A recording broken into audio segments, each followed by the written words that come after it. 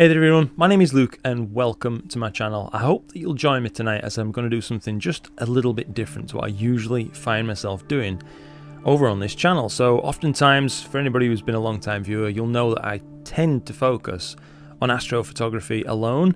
And while there's nothing wrong with that, I also personally really do enjoy doing something a little bit different every now and again, so that's what we're going to be doing now. It's going to actually be an entire session focused on EAA, that is Electronically Assisted Astronomy.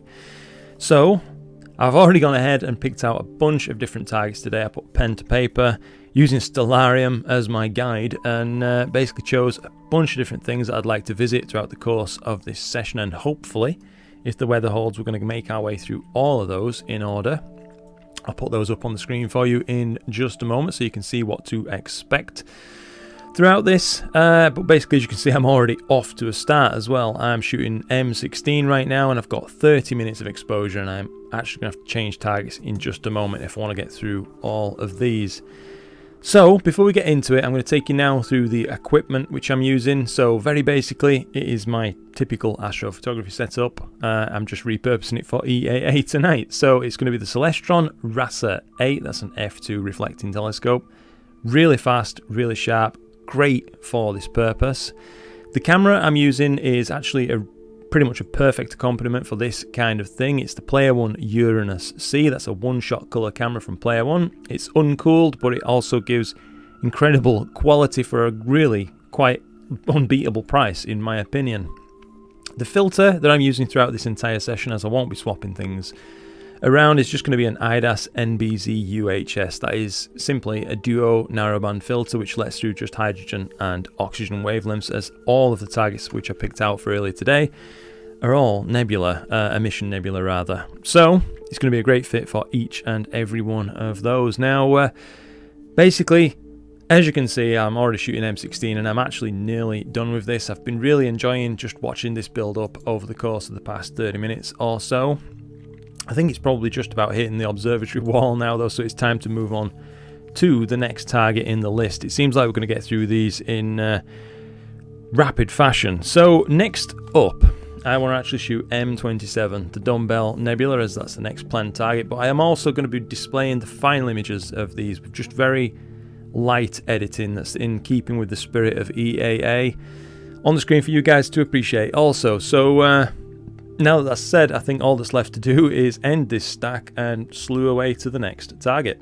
Right then guys, so as we're about to slew away to the next target in just a moment, which is going to be M27, the Dumbbell Nebula, I think this is the perfect opportunity to show you how I'm actually going to be doing this tonight. So as you can see, I'm using Sharp SharpCap for the main purposes of stacking and dithering my exposures to make sure that I'm not getting too much correlated noise building up in these exposures and it seems to have done a great job on this first shot here of M16 that's looking I think really rather nice for uh, an image made up of 15 second exposures, even through a fast telescope. But to actually do the plate solving, aligning, and autofocusing, as I don't want to be getting up and putting a Bahtinov mask on the end of the telescope and things like that, I've actually got everything also hooked up to Nina at the same time. So I'm going to go ahead and end this live stack right now. So I'm going to close that down just a moment and open up Nina, the main page on there.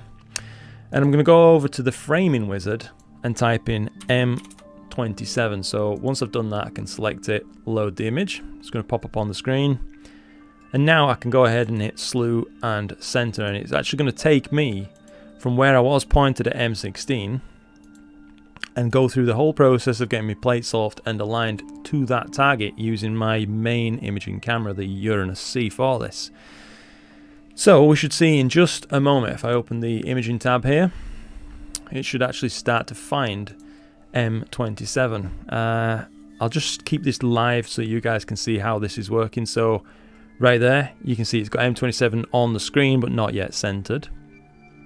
So after a little bit of a settle period and a slew to correct that, it should hopefully get itself realigned properly. It's exposing currently 5 second exposures for these plate solves. It looks like it's perfectly aligned in the center now and hopefully Nina will agree. And I think it is a success looking at this. There we go.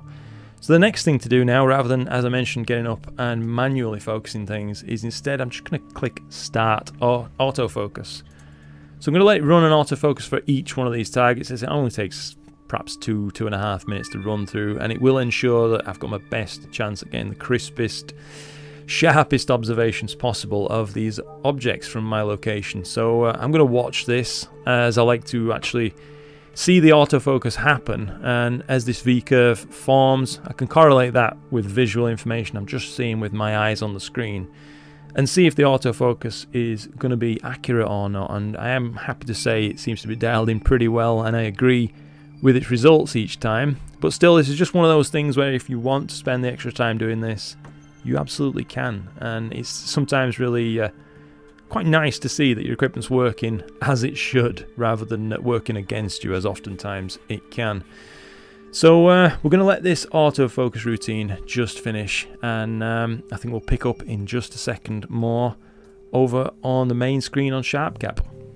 Alright guys, so as you can see we're picking back up now, it's just finished this autofocus routine and I'm happy to say that from what I could see, at least visually, it's put itself back to the point of sharpest focus, which is obviously what you're looking for with an automated focusing system like this. Now, all I've gone ahead and done is opened up the equipment tab, deselected the player one camera from Nina, and reselected it over here in SharpCap now. So just effectively reconnected the camera and let SharpCap take command of that camera control once again. I've renamed my new live stack, so M27 and at this point I can just hit live stack, clear the old one off, and wait for these first few exposures to come in and make sure everything's stacking up properly and nothing's really uh, gone awry. And then at that point, it's just a case of appreciating the image on the screen as it builds up over the course of time. So um, it looks like we need some minor adjustments, so I'm just going to use the auto color balance. You could use the auto stretch, but I find it to be maybe a little bit hyper aggressive. So instead I prefer to just bring up the black point to the base also of that histogram mound and then bring across the mid-level over to the left towards that black point to get a bit of a basic stretch happening.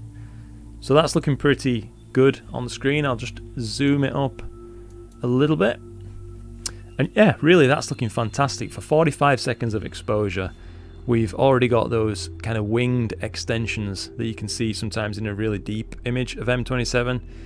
They're actually starting to appear in my image right now by one minute, which is uh, just testament really to the sensitivity of that player one and the speed of that RASA. So uh, fingers crossed this one's going to look impressive as it builds up. And um, once this is finished, I think we're going to give this maybe 20 25 minutes of observation or so, depending on how we're doing for time throughout this night.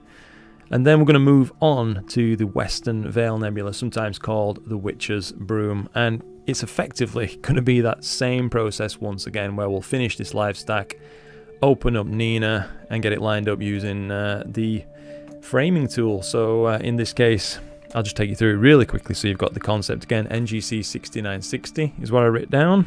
NGC 6960.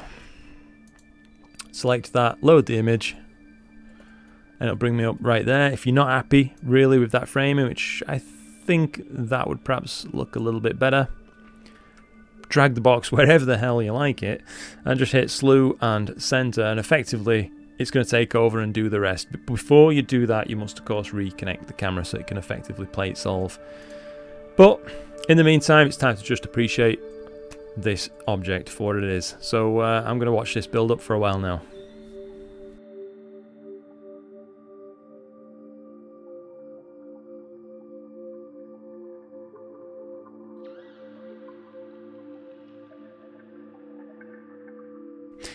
Alright then guys, so now about 23 minutes actually into this Dumbbell Nebula stack and I think it's time we finished this target, but before we do, let's take a little bit of a final look just at it here. So if we go to a 100% zoom, we can see it's really picked up those faint extensions now on the uh, the outer edges of that actual...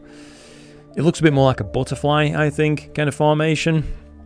I'm dead impressed, actually. I think doing this bit of EAA tonight already has made me really appreciate the speed of the RASA and the low noise performance, actually, of this Uranus C. It's... Uh, a pretty magical combo, actually, uh, as far as things go. And um, I'm just dead impressed. I can't wait to see now what it's going to perform like on the next target, which, as we spoke about, is going to be the Witcher's Broom. So uh, I'm going to go ahead and just save this now as a 16-bit stack so I can make a few final little touch-ups, perhaps, if needed, uh, to present it to you guys during, throughout the course of this video, basically. Uh, so I'm going to end that live stack. That's finished. I'll unselect the camera from SharpCap and reconnect it back up. In Nina, we're just going to go through once again that setup procedure. So over onto the framing tab, we've already got it aligned and loaded up. So I'm going to hit slew and center. I can just hear now the, uh, the scope is slewing. It's almost finished, I think. It's not had to move too far as the dumbbell and the veil are not that far from one another in the night sky for us. Um, go over to the imaging tab and we can just take a quick peek on the screen, see if it's picking it up. Sure enough, there it is, smack in the position where I chose. It might actually get this in just one solve. And uh, I'm actually going to trust that it won't need a refocus on this because we haven't moved very far across the night sky. It's, it has actually just decided it's not within tolerance, so it's done another small movement. There we go. For everybody watching the screen, just you'll have seen it move just a little bit. And I think it's surely got to be happy at that. And it is. So now that's all aligned again I can just unselect the uh, the camera from Nina over here reopen it once again over in SharpCap. As you can see it's already picked up the fact that I've got that flat frame that I took right at the start which was my only setup for this session and now we can wait for this first 15 second exposure to come in so uh, while we're doing that, I'll just rename the next stack so I can start another subfolder. So NGC 6960 West Veil. That'll do. That's going to make sense for me. looks good on the screen. And I think with that, we can just hit live stack, reset the other stack, and uh, wait for this to actually build up. So, uh, all I'm doing at this point, once I've actually refreshed a stack, is I'm just going to keep an eye on it for just a few frames uh, and make sure that everything is stacking up as intended. Because sometimes, let's say if you're filtering by full width half max like I am here, depending on the size of the stars in the field of view, it can throw this off just a little bit and uh, you may need to adjust it slightly per target if you've used uh, this setting quite aggressively, which I haven't, so I should be okay most of the time. But it looks like the filters are working fine on brightness and full width half max. I'm going to set guiding back off as um, I forgot to do that. So it's picked itself a good star. We'll just hit go. Guiding's going okay tonight, I would say. Nothing too uh, stellar. But importantly, it's all working fine. Uh, it looks like this is stacking up lovely actually already. This is just 45 seconds of exposure. And if I just alter the black point there slightly, increase this mid-level for a bit of a stretch.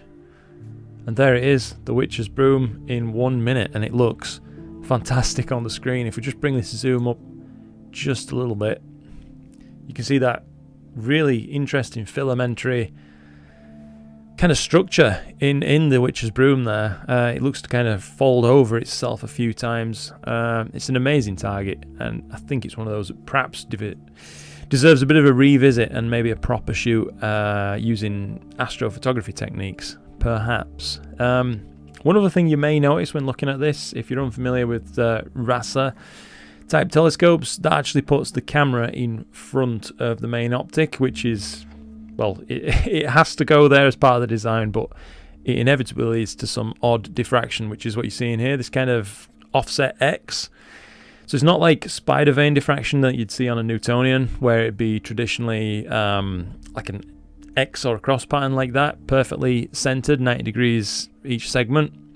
This is instead caused by the cables going into the camera. So uh, you can hide these using like curved cable uh, routers but I just don't mind that much. It doesn't bother me too much, so uh, I'm just going to leave it as is. I thought it was interesting to mention, though. Um, that kind of diffraction is something you'll never see, interestingly, on uh, unobstructed designs such as uh, refractors, and you also see it lessened on on semi-obstructed designs, I like to call them, like a, a Cassegrain telescope, like the Schmidt Cassegrain that I use for planetary, as that thing's secondary mirror is held in place by a piece of glass, so there's nothing uh, really there to cause too much diffraction except for the secondary mirror itself and its housing. But anyway, I've gone on and on too long. I'm probably boring you all half to death now, but again, I'm just going to watch this build up now over the course of the next maybe 20 minutes or so before moving on to the Eastern Veil Nebula. That's up next, and uh, I hope you'll enjoy seeing these images.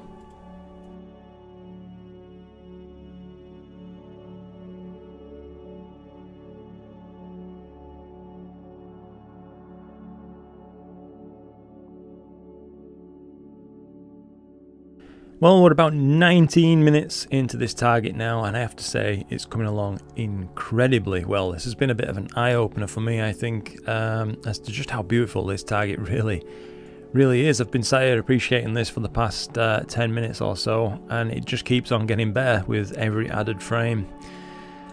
Looking at this now, I think um, if this is what effectively 20 minutes looks like. I can only imagine what 20 hours might look like if I was willing to put that sort of time into this, as um, there's so much split between the signal in this one, so you can really cleanly see the oxygen component, that kind of tealy blue color, uh, completely cleanly split from the hydrogen component of this, which makes it really interesting to view.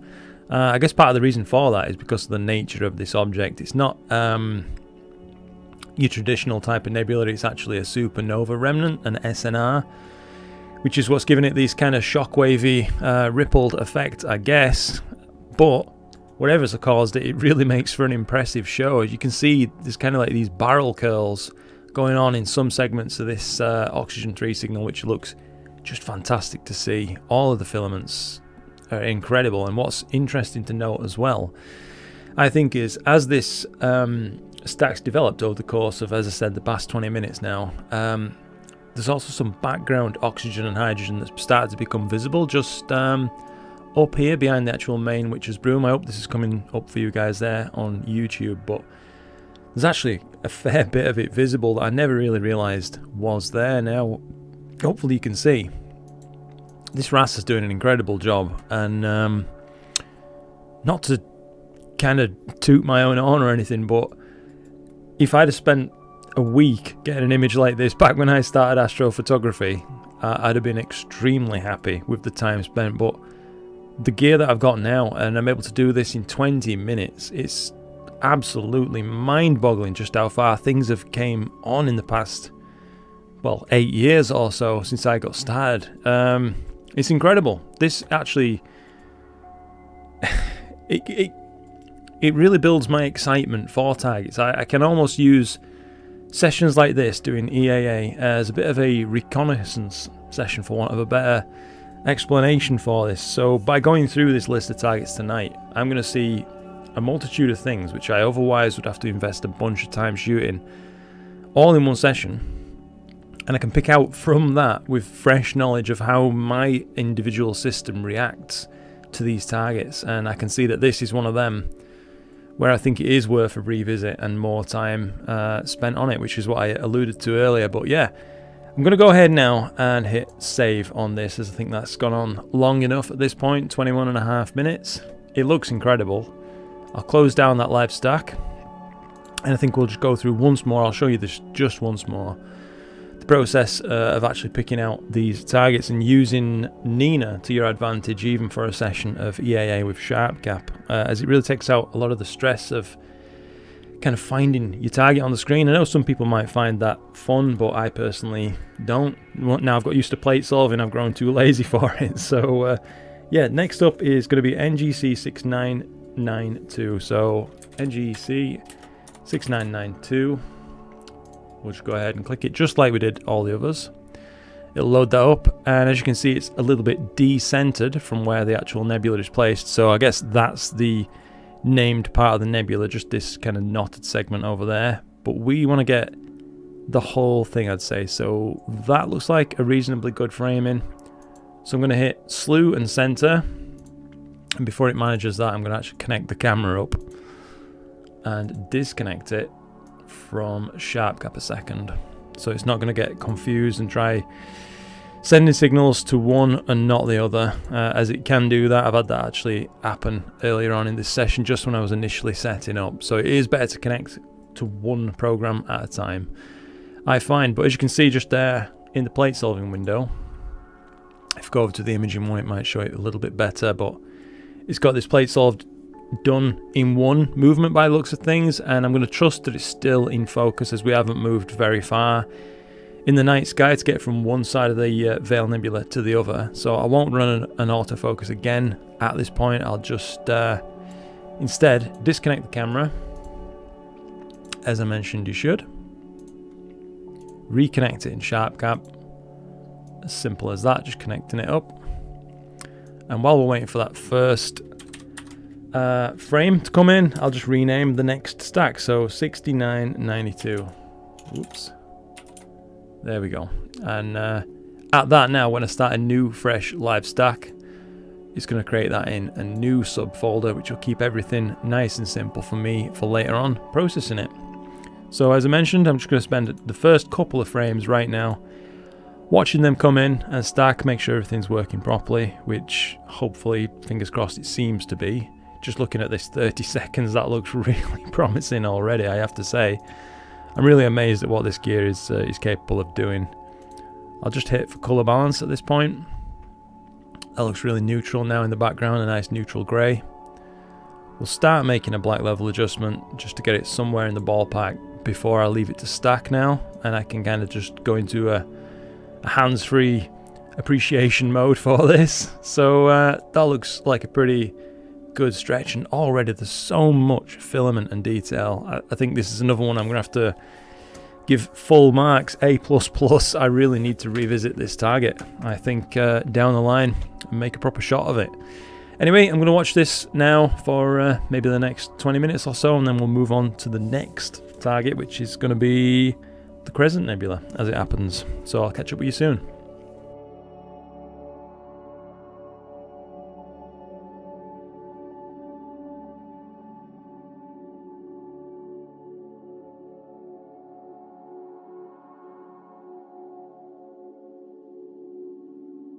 Well, we're 19 minutes into this stack of the Veil Nebula now, and I have to say, once again, it's one of those targets that I'm really glad that I've visited because it's just been blowing my socks clean off as this one uh, in particular.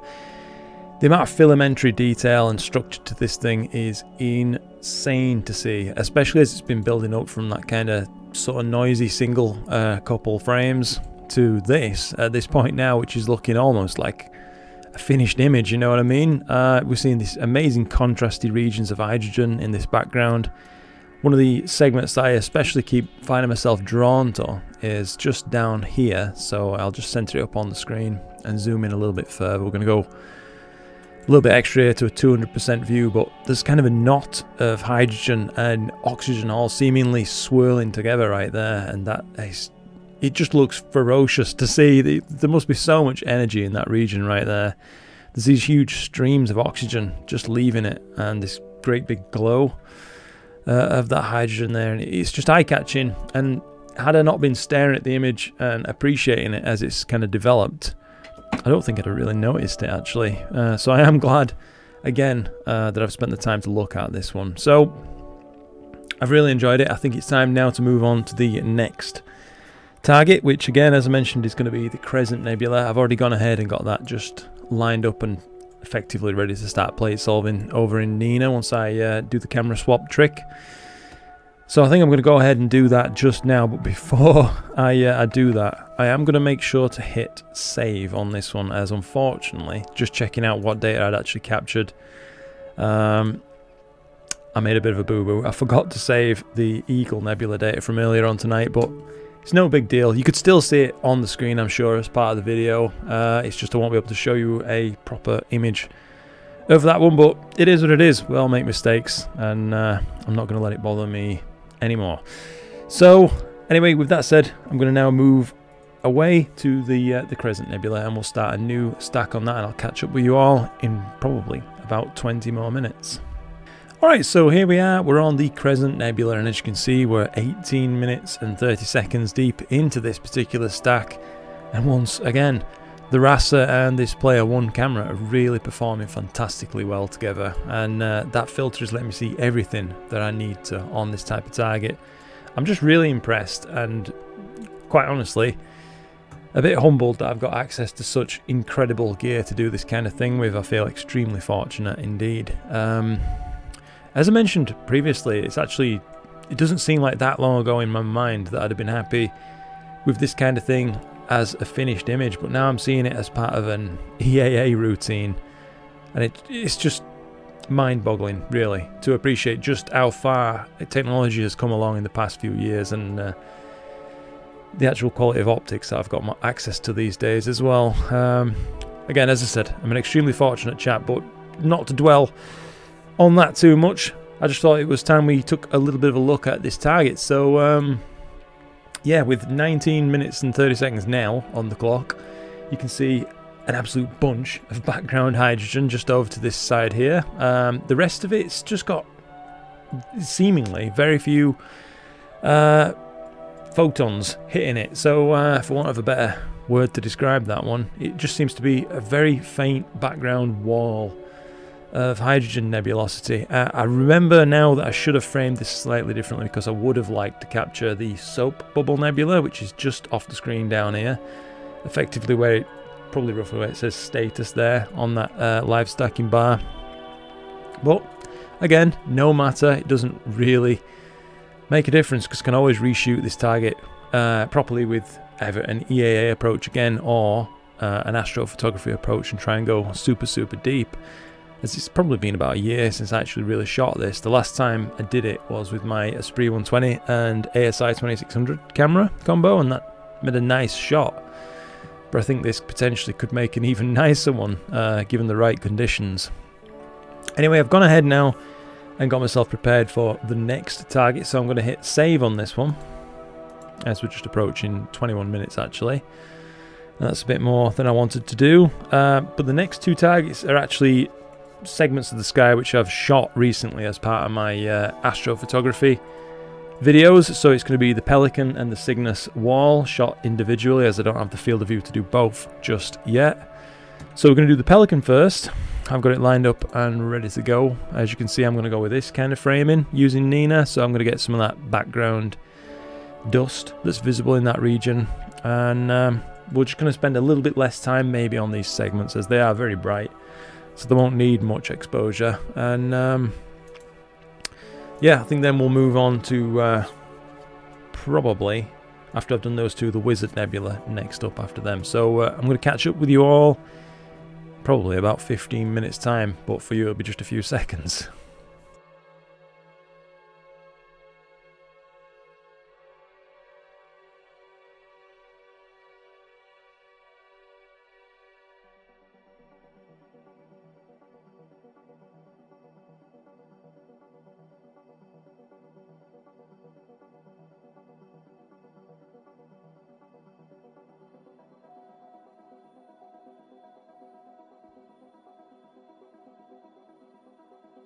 Well guys, if my plan just went well, uh, hopefully you should have just seen on the screen there this image actually developing over the course of the, well for you a few seconds, but for me about 12 minutes or so. I just thought it might have been interesting to try and show visually on screen um, in a very condensed way the impact of these frames all stacking together and kind of that increase in signal to noise um, ratio. It was interesting to actually watch occur while I've just been uh, doing a few other things there and talking to Chloe, but I have to say, uh, once again, I know I keep going over this same point, but I really am desperately impressed by uh, by this rig and its capabilities. I think this um, little session of EAA, EAA here has really reminded me of what this thing is capable of, and also what astronomy is all about, really, for me at least. Uh, I've really enjoyed this session so far, and I'm just looking forward to moving on to the next target and the next target and so forth. Even though this is something very recently that I just shot. Um, anyway, so I'm going to cut this particular stack short at about 15 minutes, I think, as, uh, again, like I said, I'm just going over already trod ground. Then I'll move on to uh, the Cygnus wall, again recently a video covering that one shot in astrophotography style but um, could still be interesting just to see what it looks like with 15 second exposures. So uh, yeah gonna save this out right now and go ahead and get everything aligned up again on Nina and uh, see what we can do on this next stack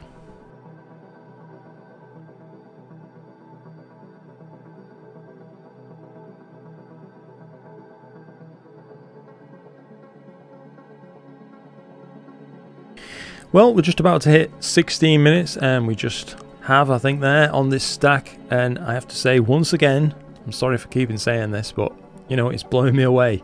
It looks really, really good for just over a quarter of an hour. I've got absolutely no complaints. Um, just as I were kind of watching this stack develop there off camera, um, I was just thinking to myself, I can really appreciate that there's a lot of people out there who solely focus on EAA, and I can absolutely see why. After a session like tonight, I mean, um, I've done EAA before a good few times in the past, and I always enjoy it, but um, I partic particularly feel like this RASA and this approach using these narrowband kind of filtration has really upped the game for me uh, quite a lot as it's letting me see things I never could visually uh, without the kind of time investment that astrophotography approaches take, and yet still with, I think, really rather nice results. I mean, if you just zoom in on this just a little bit and take another look all the way down this wall, uh, the, all the main features are there. Everything's captured. Um, sure, it's a bit noisier than you know an, a fully stacked hours and hours long astrophotography image would be, excuse me. But you know, it didn't take hours. It took just above a quarter of an hour. And uh, if all you want to do is just appreciate what's out there and take a look around the night sky, this is unbeatable, I'd say. I'm really having a lot of fun tonight. So, I think anyway, that is enough time on this particular target now. As I mentioned, I have recently shot it. So we're going to move on now to the last two targets. So I'll just take this one off. And we're moving now onto the wizard. So uh, I'm going to go ahead and get that set up as I've showed you that setup uh, procedure a few times over now. So I won't punish you by making you sit through it once more. Um, and we'll just catch up again in probably about another 10 or 15 minutes.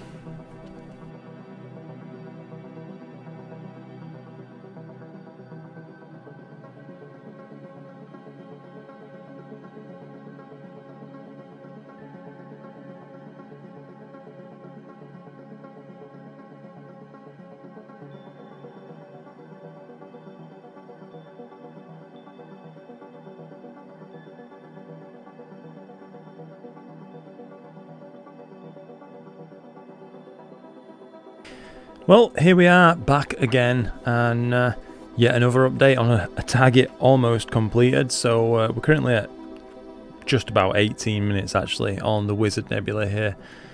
And uh, I have to say I've enjoyed watching this one develop. Uh, I've just been keeping one eye on it while I've been sat here, kind of just relaxing mostly to be honest with you. Um, but yeah, it's, it's been an interesting target to watch in particular as this one because I feel like perhaps even more than most of the other targets tonight that I've uh, spent some time observing. This one has a bit of a three-dimensional um, effect to it, so you can really see that it looks like this frontal um, segment of the nebula is closer to you, and this background kind of um, veil of hydrogen is hanging there, and where the kind of wizard's hand is that's outstretched like that you can see that sort of mid-ground in this shot going out to the furthest edge of the nebula. It's uh, maybe I'm imagining it and maybe it's almost flat onto us, but it really does look three-dimensional to me. Uh, I'd love to hear what you guys think. Uh, if you've made it this far in the video, then thank you very much indeed for sticking with this one. I realise it's been a little bit of a different um, type of video. No uh, special attention paid to flashy edits or anything like that. It's more just a case of enjoying a little session uh, together, which is really what it's all about at the end of the day. So, I'm going to save this out in just a moment now and move on to my last target of my uh, observing list actually. It's just going to be NGC 7822. So uh, I don't think that one has a particular name. Like all these other ones that I've picked have actually got like recognizable names. That one doesn't. But all the same, it's an interesting segment of the night sky and well worthy of some observation time. So uh, that said, just going to let this last frame come in right now to take this up to 19 and a half minutes. Save that out and uh, once again I'm going to go through the process of getting lined up. I think as this is the last one and maybe some of you guys watching this video might have missed this earlier on in the night, I will show you how I do uh, this process. So I've saved that out. Once again, untick my, uh, my camera from SharpCap, open it back up in N.I.N.A move over to the framing wizard and enter the name of the target which I'm going for, which in this case is NGC7822. Populate that and hit load image. It's going to load you in on exactly where kind of name uh, is, is bound to effectively, but I don't want that particular segment. I actually want, I'd say that's going to do nicely, so we're going to get all these interesting little spires and such, and a lot of that background um, dusty formations in. So I'm going to choose that area, hit slew and center. Sorry again if you've kind of watched all of this video and you've seen me do this now for about the fourth time. Uh, I just thought I'd leave this one last plate solving there for anybody who might have missed it on the uh, earlier parts of the video, skipping through or whatever. But yeah, all that we do now is we just wait a few moments. It's going to plate solve this and get itself perfectly aligned with what I've just asked it to. We should see that appearing on the screen uh, any moment, really, actually. It should settle as long as my guiding hasn't caused issues. Yeah, that's fine. Ah, it appears it's actually decided to do uh, a meridian flip, so it's still slewing.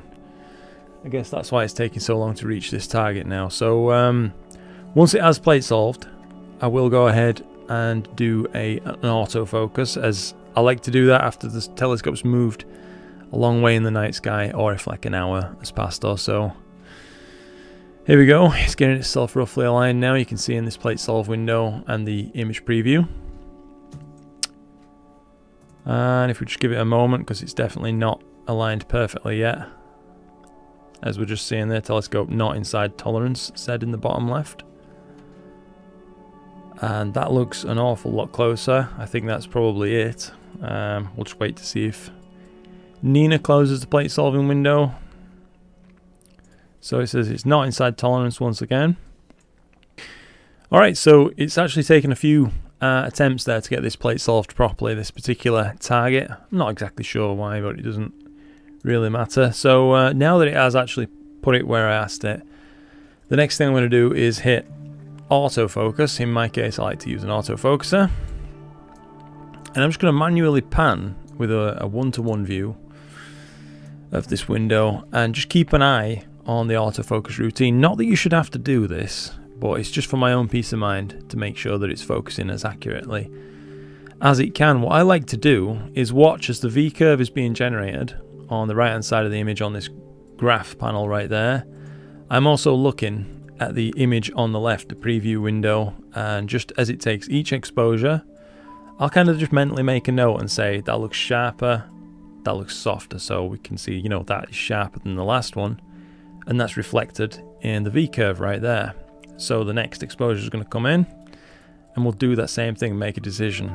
That looks sharper, and it's represented again in that curve. So we can see it's analysing the stars correctly, which is of course really important to getting good autofocus performance. Um, that looked a little bit sharper and it looks like that could either be my eyes or ever so slightly a disagreement um, with the autofocuser.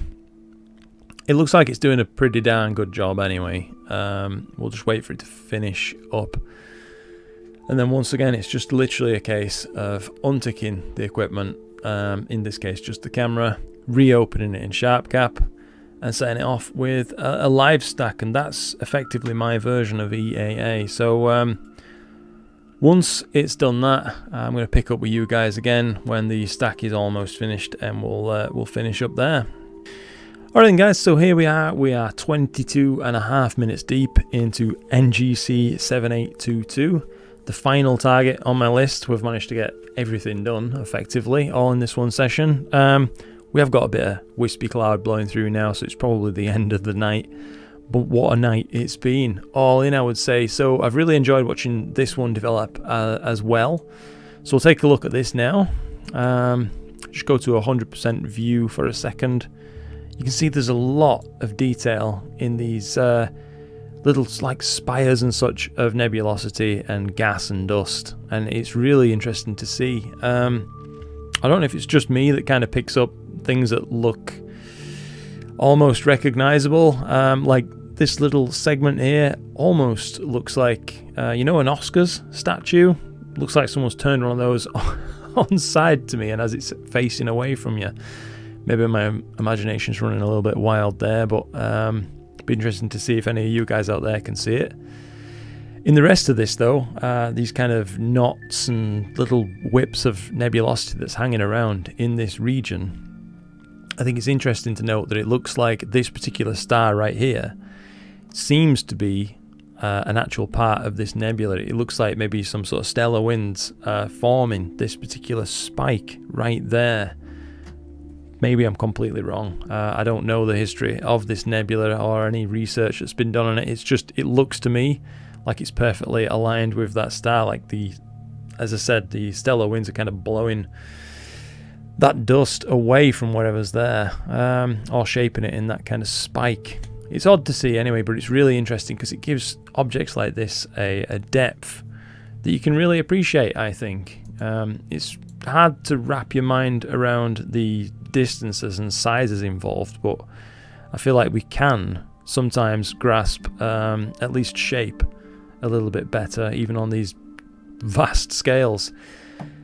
But anyway, I think I've blabbed on quite long enough. We've had a really successful night, and this is the last target of the night, so I've got everything done that I wanted to do. And so, with that said, I'm probably going to wrap things up here and uh, go ahead and get everything packed away soon. So, um, I hope that you've enjoyed this video. I know it's probably been a little bit boring for some of you guys out there, but I also, on the other hand, know that some people will appreciate this kind of video. Uh, a little bit easygoing, uh, a looser format kind of thing rather than heavily edited. So um, anyway, I've enjoyed myself and I really genuinely do hope that you have too. And I'd just like to say, as always, thank you so much for watching and I appreciate each and every one of you guys out there. I really do. And uh, with that said anyway, I think that's probably about it. So I'm going to show all the images I've captured at the end just with very minimal editing in the spirit of EAA and not so much astrophotography. So I'm going to leave it there, and uh, thanks so much for watching, and until next time, guys, look after yourselves and clear skies.